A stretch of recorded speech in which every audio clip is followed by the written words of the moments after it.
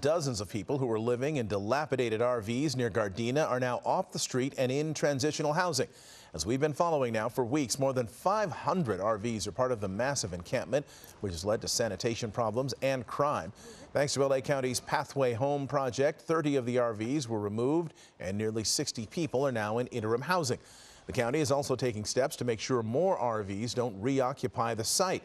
This area has among the highest concentrations of RV encampments countywide. Hello, I'm Mark Brown. Get more great ABC7 content by clicking the subscribe button for our YouTube channel and download the ABC7 Los Angeles streaming app on Fire TV, Android TV, Apple TV, and Roku to watch on your TV.